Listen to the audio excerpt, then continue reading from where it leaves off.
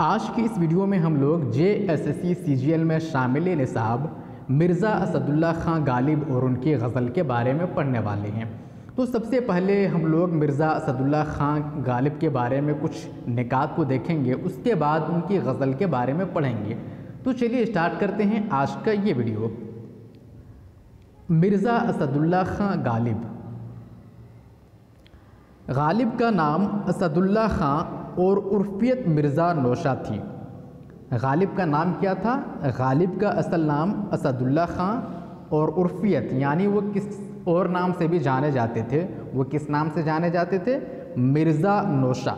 वो मिर्ज़ा नौशा के नाम से भी जाने जाते थे। अगर आपको एग्ज़ाम में पूछ दिया जाए कि गालिब की उर्फियत क्या थी, गालिब और किस नाम से जाना जाता था तो आप मिर्ज़ा नौशा बता सकते हैं।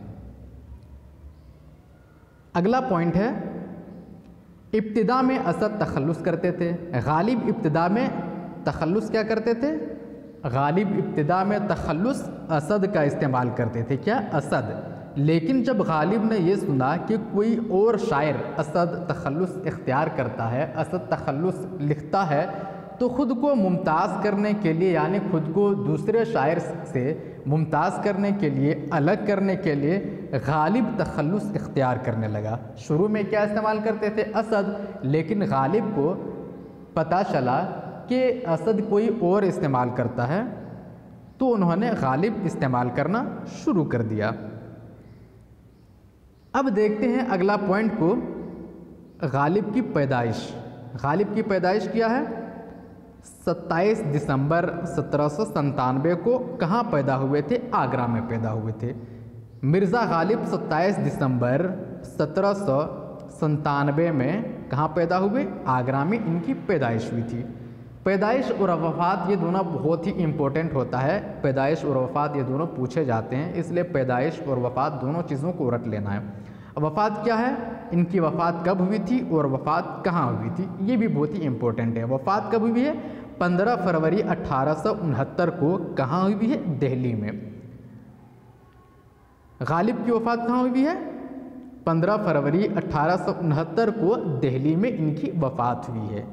और दफन कहाँ हुए थे? मदफून कहाँ हुए थे? और हज़रत निज़ामुद्दीन में ये मदफून हुए।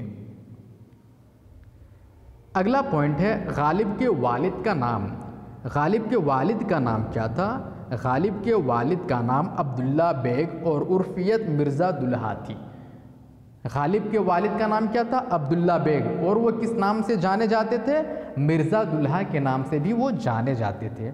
उर्फियत का मतलब वो किस और नाम से भी जाने जाते थे। गालिब के दादा का नाम। गालिब के दादा का नाम क्या था? गालिब के दादा का नाम फ़ोकान बेग था। गालिब के दादा का नाम क्या था? फ़ोकान बेग था, ये गालिब का दादा का नाम। गालिब का सिलसिले नसब के बारे में थोड़ा सा जान लेते हैं। गालिब का सिलसिले नसब बादशाह तुरान तक पहुँचता है।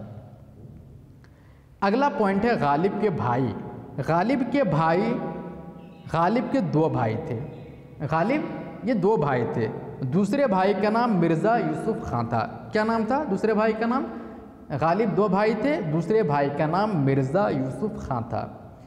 ये ऐसे पॉइंट हैं, मैंने गालिब के बारे में जितने भी इम्पोर्टेंट पॉइंट हो सकते हैं एग्ज़ाम में पूछा जा सकता है, उसको लिख लिया है। आपको मेरे ख्याल में मज़ीद पढ़ने की ज़रूरत नहीं पड़ेगी इसके बारे में। इन्हीं चीज़ों से, इन्हीं निकास से, इन्हीं पॉइंट से क्वेश्चन आएगा। नेक्स्ट पॉइंट है 1801 ईस्वी में जब गालिब की उम्र महज चार साल थी। कितनी उम्र थी? महज चार साल थी। गोली लगने से वालिद का इंतकाल हो गया था। किनका इंतकाल हुआ था? वालिद साहब का इंतकाल हुआ था। उस वक्त गालिब की उम्र कितनी थी? महज चार साल की थी। तब गालिब का, तब वालिद का इंतकाल हो गया था। 1801 ईस्वी में जब गालिब की उम्र चार साल की थी तो वालिद साहब को गोली लगने से वफ़ात हो गई थी, इंतकाल हो गया था। अगला पॉइंट देखते हैं, गालिब के चचा का नाम। गालिब के चचा का नाम क्या था? मिर्ज़ा नसरुल्ला बेग। गालिब के चचा का नाम क्या था? मिर्ज़ा नसरुल्ला बेग। अगला पॉइंट है 1806 ईस्वी में जब गालिब की उम्र 9 साल थी, चचा नसरुल्ला बेग भी वफात पा गए। कब वफात पा गए थे? 1806 ईस्वी में जब गालिब की उम्र 9 साल थी तो चचा नसरुल्ला बेग भी वफात पा गए थे, जो गालिब की तरबियत कर रहे थे। नेक्स्ट पॉइंट है। फ़ारसी ज़बान की तालीम। फ़ारसी ज़बान की तालीम गालिब ने किससे हासिल की थी? अब्दुलसमद से हासिल की थी, जिसका असल नाम क्या था? हुरमुज़, जिसका असल नाम हुरमुज़ था। अगर पूछा जाएगा कि फ़ारसी ज़बान की तालीम गालिब ने किससे हासिल की थी? उस उस्ताद का नाम बताइए। ऑप्शन अलग अलग दे दिया जाएगा। तो आप क्या जवाब चुनेंगे? क्या जवाब सेलेक्ट करेंगे? अब्दुलसमद फ़ारसी ज़बान की तालीब गालिब ने अब्दुलसमद से हासिल की थी और उसका असल नाम क्या था? उसका असल नाम क्या था? हुरमुज़ था उसका असल नाम हुरमुज़ था मैं उम्मीद करता हूँ कि यहाँ तक आप बिल्कुल कंप्लीटली समझ गए होंगे। नेक्स्ट है गालिब की शादी। गालिब की शादी किससे हुई थी? वाइफ का नाम क्या था? बेगम का नाम क्या था? इमराव बेगम। गालिब की शादी जिनसे हुई थी, उसका नाम क्या था? इमराव बेगम। इमराव बेगम से गालिब की शादी हुई थी। अगला पॉइंट है, गालिब ने दिल्ली का सफ़र 1812 ईस्वी में किया था। गालिब ने दिल्ली का सफ़र कब किया था? 1812 ईस्वी में। 1812 ईस्वी में दिल्ली का सफ़र किया था। मैंने हर पॉइंट को यहाँ पे पॉइंट आउट किया है एग्ज़ाम के लिहाज से, जो ज़्यादा इम्पोर्टेंट हो सकते हैं, जो ज़्यादा महत्वपूर्ण है, उनको मैंने लिखा है, उसको मैंने यहाँ पे नोट डाउन कर लिया है। आपको मज़ीद मेरे ख्याल में मेहनत करने की ज़रूरत नहीं पड़ेगी। जो मैं पढ़ा रहा हूँ, उसको आप गौर से सुनिए और उसको लिखिए। उसकी प्रैक्टिस कीजिए, यही सबसे क्वेश्चन आ सकता है। नेक्स्ट क्वेश्चन है, अंग्रेज़ी हुकूमत से गालिब को सात सौ रुपये सालाना मिलते थे। अंग्रेज़ी हुकूमत से गालिब को कितना रुपया मिलता था सालाना? सात सौ रुपया। सात सौ रुपया सालाना इनको मिलता था। गालिब के मुखलिस दोस्त, उनका नाम क्या था? गालिब के एक मुखलिस दोस्त थे, उनका नाम क्या था? उनका नाम था फजल हक। उनका नाम क्या था? गालिब के मुखलिस दोस्त का नाम, जो क्लोज फ्रेंड था, उसका नाम था फजल हक। नेक्स्ट पॉइंट है, गालिब को हेमान ज़रीफ़ किसने कहा है? गालिब को हेमान ज़रीफ़ किसने कहा है? गालिब को हेमान ज़रीफ़ किसने कहा? हाली ने। गालिब को हेमान ज़रीफ़ किसने कहा? हाली ने। गालिब को हेमान ज़रीफ़ कहा है। अब गालिब के जो अशार हैं, जो गज़ल है, उसको हम लोग पढ़ेंगे और समझेंगे। बहुत ही उम्दा और बेहतरीन शेर हैं, बहुत ही बेहतरीन अशार है। तशरी भी बहुत आसान है, आप गौर से सुनिए, हर शेर की तशरी को आप आसानी से समझ जाएँगे, जहाँ तक मुझे उम्मीद है। इन पहला शेर कुछ इस तरह से है, दिले नादा तुझे हुआ क्या है? दिले नादा तुझे हुआ क्या है? आखिर इस दर्द की दवा क्या है? दिले नादा नादा नादान। दिले नादा यहाँ शायर अपने आप से मुखातिब है, अपने दिल से मुखातिब है और शायर फरमा रहे हैं, कह रहे हैं कि, ए नादान दिल, तुझे क्या हो गया है? तुझे इतना दर्द क्यों है? तुझे इतनी तड़प क्यों है? और जो ये दर्द है, इस दर्द की वजह क्या है? इस दर्द की दवा क्या है? आखिर इस दर्द की कोई दवा भी है या नहीं? यहाँ पे शायर ये कहना चाहते हैं, दिले नादा तुझे हुआ क्या है? ए दिल, तुझे इतनी तड़प, इतना दर्द क्यों हो रहा है? आखिर इस दर्द की वजह क्या है और कोई दवा भी है या नहीं है? इसका मफहम यह है। अगला शेर है, हम हैं मुश्ताक और वह बेजार, या इलाही, ये माजरा क्या है? हम हैं मुश्ताक और वह बेजार, या इलाही, ये माजरा क्या है? यहाँ भी शायर अल्लाह रब्बुल आलमीन से मुखातिब हैं और कहते हैं कि हम अपने महबूब से मिलने के मुश्ताक हैं, ख्वाहिशमंद है। मेरी तड़प है। मैं उनसे इतनी मोहब्बत करता हूँ कि मैं उनसे मिलने का मुश्ताक रहूँ, ख्वाहिशमंद हूँ, मैं उनसे मिलना चाहता हूँ। लेकिन वो है कि वो बेजार है। मेरी मोहब्बत को वो समझ नहीं रही है, मेरे प्यार को वो समझ नहीं रहे हैं और वो बेजार हैं। आखिर ए इलाही की माजरा क्या है? इतनी मोहब्बत, इतने प्यार के बावजूद वो मुझसे बेजार है, मेरी मोहब्बत को समझ नहीं रहे हैं। तो इसका ये मफहम है। अगला पॉइंट है, अगला शेर है, मैं भी मुँह में ज़बान रखता हूँ। क्या है? मैं भी मुँह में ज़बान रखता हूँ। काश पूछो कि मुद्दा क्या है? मुद्दा मसला। इस शेर का मफहम क्या है? मैं भी मैं भी मुँह में ज़बान रखता हूँ। यहाँ पे शायर कहना चाहते हैं कि मैं भी अपने मुँह में ज़बान रखता हूँ। मैं भी चाहता हूँ कि मैं तुमसे कहूँ, तुम, तुमसे कुछ बातें करूँ, तुम मेरी बातों को सुनो। लेकिन कभी पूछो तो सही कि मैं किस हाल में हूँ, मेरी हालत कैसी है। कभी मुझसे पूछो तो सही, मैं उसको जवाब दूँ। मैं अपने हाल के बारे में बताऊँ, मैं अपनी चाहत के बारे में बताऊँ, मैं भी तुमसे बात करने के लिए बेचैन और बेकरार हूँ। तुम मुझसे कभी पूछो तो सही, मेरे हालत, मेरी हालत क्या है कभी जानो तो सही, मेरा मसला क्या है कभी समझो तो सही। ये शायर यहाँ पे कहना चाहते हैं। अगला शेर है, जबकि तुझ बिन, जबकि तुझ बिन जबकि तुझ बिन नहीं कोई मौजूद, फिर ये हंगामा, ए खुदा, क्या है?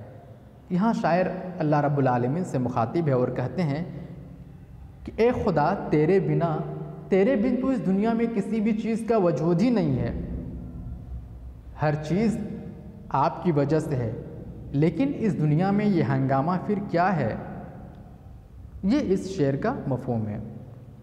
अगला शेर है ये परी चेहरा, ये परी चेहरा, ये परी चेहरा लोग कैसे हैं? ये परी चेहरा लोग कैसे हैं? गम्ज़ व अशवा व अदा क्या है? गम्ज़ व अशवा ये नाजो नखरे को कहते हैं। यहाँ पे शायर कहते हैं कि ये परी चेहरा लोग कैसे हैं? यानी इतनी खूबसूरत लोग कहाँ से आए हैं? इतनी खूबसूरत ये कैसे हैं?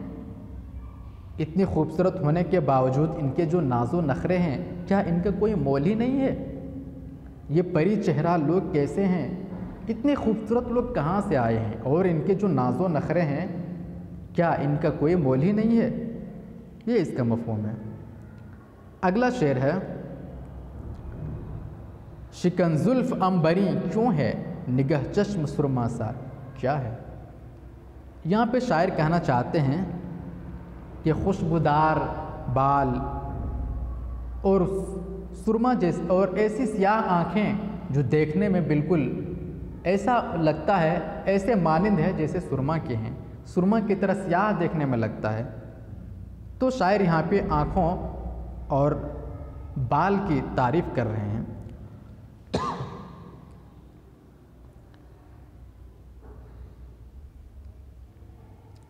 अगला शेर है, सब्ज़ा वगुल कहाँ से आए? अब्र क्या चीज़ है? हवा क्या है? यहाँ पे शायर दुनिया में मौजूद कुछ खसूसियात के बारे में बता रहे हैं कि सब्ज़ा व गुल कहाँ से आए? ये ज, ये जो सरसब्द शादाब फूल हैं गुलाब हैं ये जो बादल है वो कहाँ से आए? ये क्या चीज़ है? यानी इसके बनाने वाले इसका खालिक ये सब कौन है?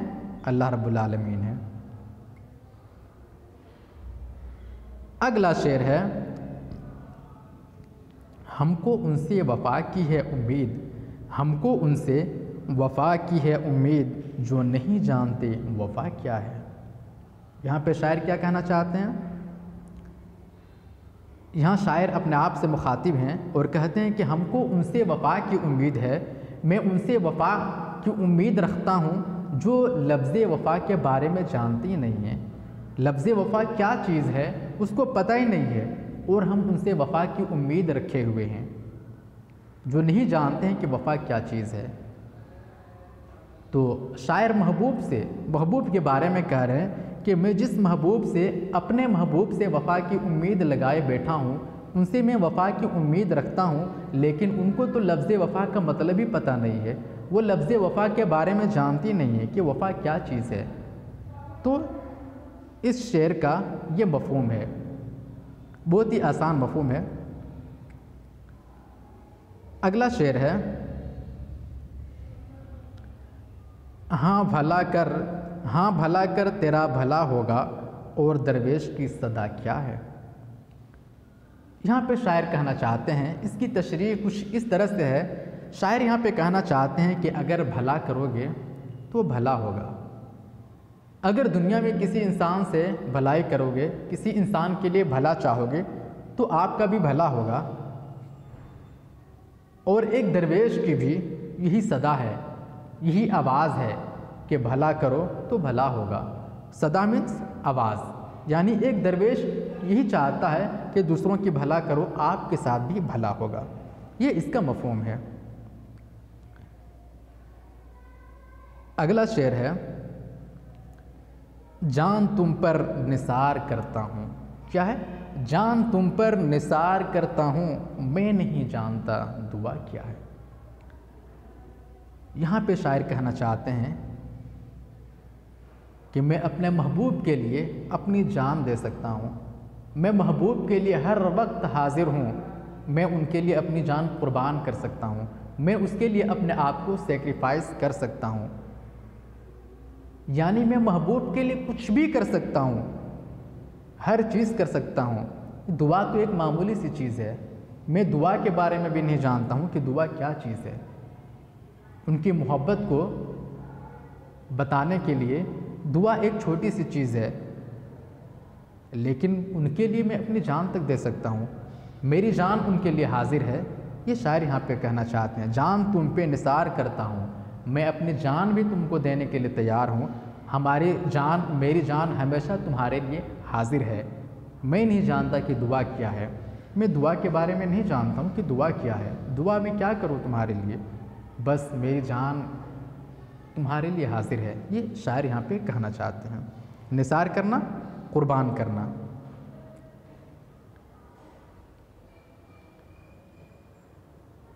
आखिर शेर है मैंने माना कि कुछ नहीं गालिब।